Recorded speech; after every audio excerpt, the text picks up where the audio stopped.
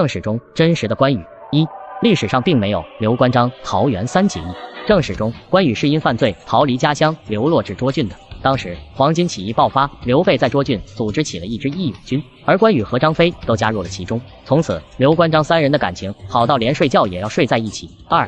在小说《三国演义》关羽水淹七军中，关羽蓄水，然后进行了决堤水攻。其实，在《三国志》等正史记载中，关羽既没有蓄水，也没有决堤水攻，而是因为自然水灾导致了汉水溢流，使得于禁等人被水灾困住。关羽趁机乘船而攻，庞德连同于禁全军覆没，而庞德誓死不降，最终为关羽所杀。数十年后，庞德之子庞会随钟会、邓艾伐蜀，破蜀后，庞会找到了关羽的后代，并将其全部杀害，算是报了复仇。三。在小说《三国演义》中，华雄是被关羽所杀。正史中，华雄是孙权的父亲孙坚斩杀的，而颜良确实是关羽斩杀的。但小说《三国演义》只保留了亲斩颜良的关羽之勇，而忽略了奠定胜局的荀攸之谋。还有文丑也是中了荀攸的诱敌之计，死于乱军之中的并不是关羽所杀。四，在小说《三国演义》中，关平是关羽的义子。正史中，关平是关羽的长子。关平与其父关羽在麦城一同被东吴所擒，最后一起被斩杀。除此之外，关羽还有次子关兴。关兴多次参加诸葛亮的北伐，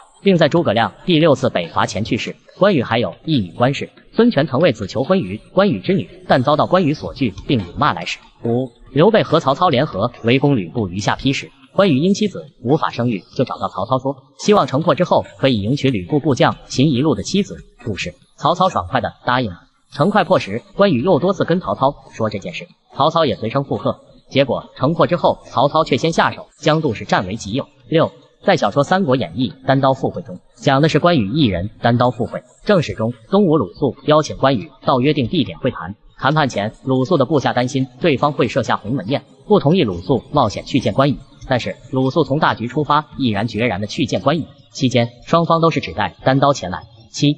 在小说《三国演义》中，关羽请华佗为其刮骨疗毒，而他在一旁与马良从容下棋。正史上为关羽刮骨疗毒的是一位没有留下姓名的医生，因为此时华佗已经去世多年。八过五关斩六将，其实也是《三国演义》作者罗贯中杜撰出来的。正史上关羽离开曹操后，只说他与兄长刘备会合，当时曹操的部下要发兵追赶关羽，曹操回答说：“各位旗主不必追赶。”当然，很可能各地的守兵也有自行拦截关羽的。关羽或许也经过了一些小规模的战斗。九，大家很少知道关羽的父亲关毅。关毅是一位有名的孝子，在父亲关审去世之后，关毅在父亲的墓旁建立了房屋，为其守孝三年。